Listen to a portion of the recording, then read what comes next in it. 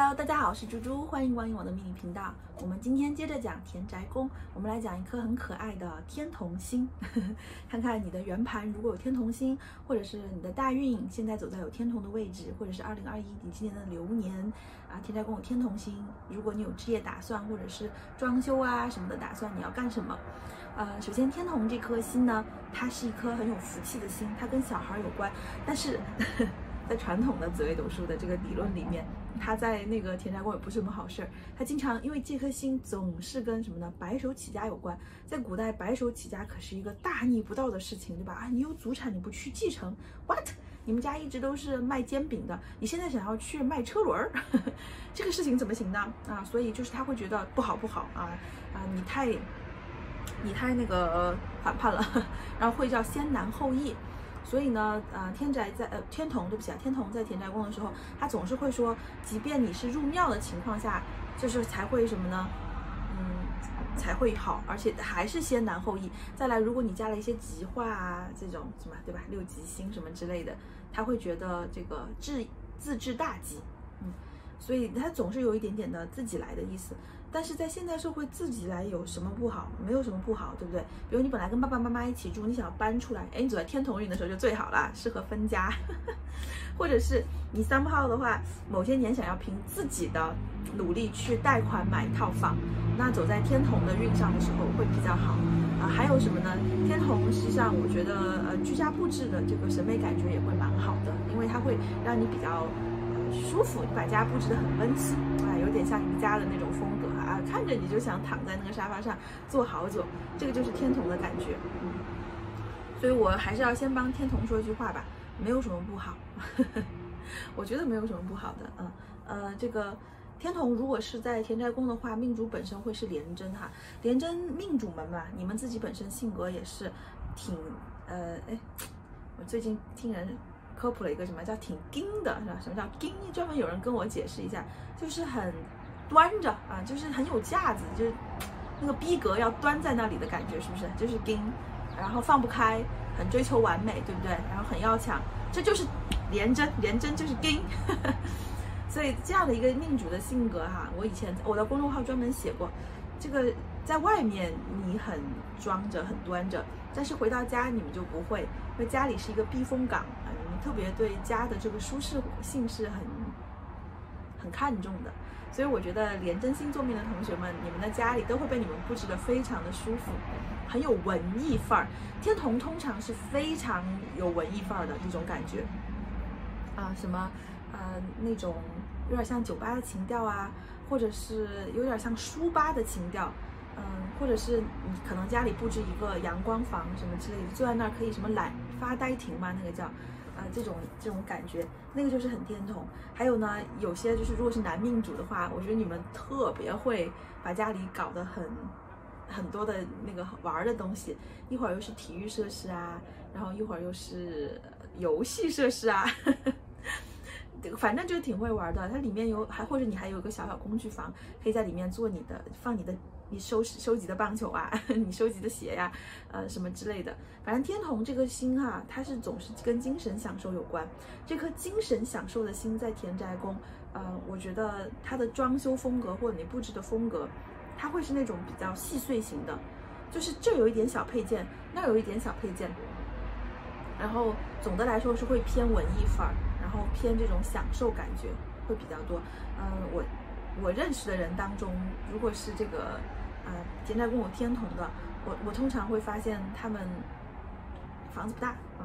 但是每一个细节都被布置了，有很多很有趣的，就是感觉他们的兴趣爱好或者是跟他们的过去经历有关的。比如说他旅游过很多地方，他可能就有一片照片墙，然后或者是他自己非常喜欢就是乐器，然后他可能有一个乐器屋，然后里面就是精心他收集了很多乌克丽丽啊什么之类这种东西。反正在细节里面能看到这个人是一个很热爱生活、很享受生活的人。我觉得廉贞，你们，呃，你们的家就会是你们的，这真的是很很能彰显你们的人生阅历的这样的一个地方，而且很美好。天童总是充满着美好，这颗心是非常的，嗯，easy going 的一颗心嘛。嗯，他的邻里关系通常也很好，这很神奇的哈。廉贞坐命的各位，我发现你们好多跟自己的邻居都处得蛮好的，因为这颗星，嗯，有一点点的就是那种，嗯，就是很可爱嘛，对不对？然后说话也比较甜，嗯，也比较也比较会，就是笼络资源什么感觉的，所以邻居邻里关系也是比较和睦的，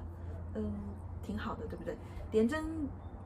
就是你看吧，结合你的这个命主看，你你你既然是廉贞的话，我看你的极恶宫也一定有天机哦，对不对？所以我感觉你们的完美就是啊，你们很爱动啊，然后很喜欢到处旅游啊，然后呃很去旅游的时候带很多纪念品回来，可以是什么冰箱贴呀，然后什么之类的，嗯，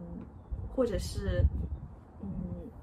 就是到处去见识风土人情，拍很多照片。然后回到家之后，不要扔掉这些东西，把你们这些东西都带回来，放在家里，挂在墙上，然后把它做成一个像博物馆、小小博物馆、人生博物馆吧这样的一个地方。这就是你们布置家最好的方法，我觉得，嗯。所以各位哈，廉贞们，嗯，这个有你自己有没有这些习惯呢？你如果没有的话，以后你的买了房子之后，家居布置真的可以往这方面走，我我觉得会是会是蛮好的。所以总的来说，我觉得天同在嗯田宅宫虽然不是一个继承祖业的相，但它有非常好的装修或者是自己置业的这样的一个运。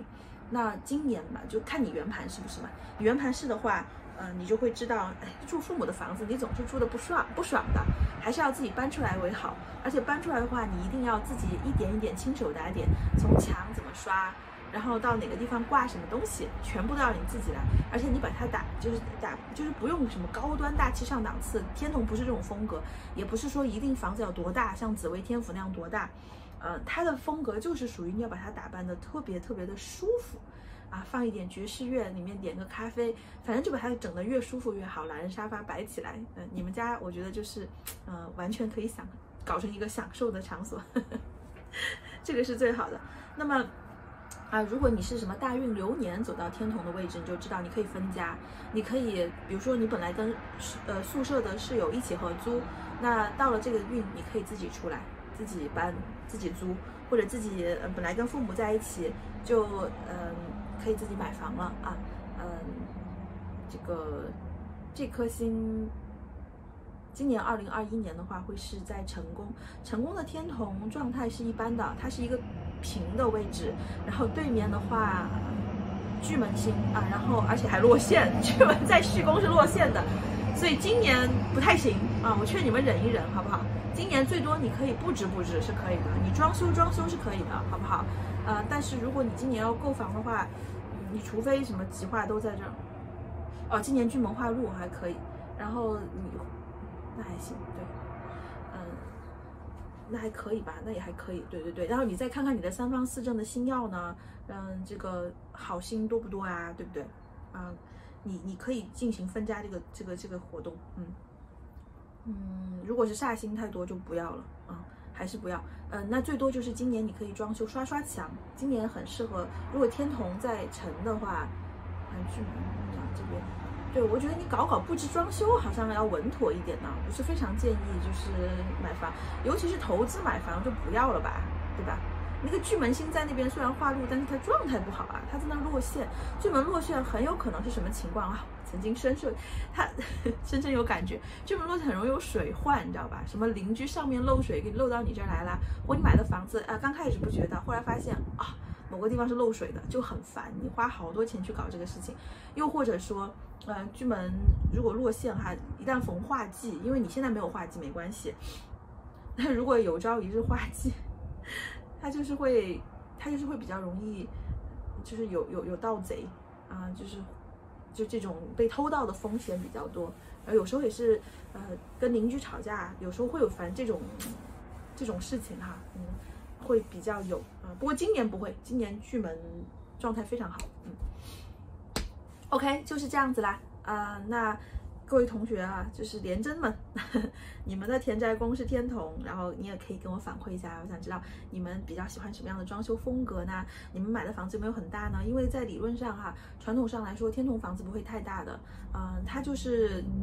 够用就好。然后小小公寓也行。如果你是年轻的美眉们，嗯，然后或者是初出社会的小朋友，你天童是很适合你上来就买个小套房，小很小很小的，然后自己把它布置得很好，这个很天童的像。你以后长大了之后，呃，有机会了再去再去把它扩大一些，但也你们应应该理论上也不会是以住什么巨大的豪宅为目标的。嗯，还是舒服比那种浮夸更符合你们的心意，对不对呢？好，欢迎大家给我各种留言啊！我们的公众号“注入金水”上，我请我们团队的婉婉哈，她是室内设计师啊，所以她出了帖子，专门讲十四主星在田宅宫的各种装修风格，里面很多图片，大家可以去参考一下，看看天童是什么样子。好的，那我们就下期见，拜拜。